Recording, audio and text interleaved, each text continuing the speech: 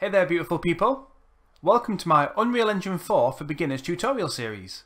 In this series I'll be introducing you to the Unreal Engine interface and tools as well as covering a range of techniques to create the level you can see here on screen. The first season of this series will focus on the art side of the engine, covering setting up, creating landscapes, importing static meshes and textures, creating materials using the material editor, adding grasses and trees with the foliage tool, using LODs and collision meshes, and also using lighting and post-processing effects. If you want to use the same assets that I'll be using in this series, you can get access to the shared online folder by becoming a patron. If you do choose to support my channel via Patreon, you'll also get access to a detailed written guide which accompanies this series, which I'll show you a little bit of on screen, as well as the opportunity to ask me questions via the Patreon feed if you get a little bit stuck.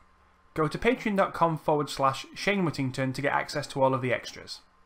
I'll aim to publish a new video in this series each week, so make sure you're subscribed and that you click on the little bell icon to make sure you don't miss a video.